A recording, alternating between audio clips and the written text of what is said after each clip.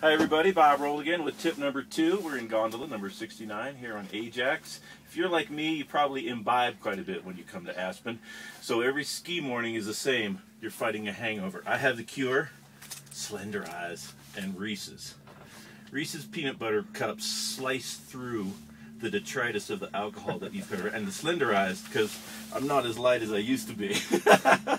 I need all the slender eyes I can get. Hydrate and go fast.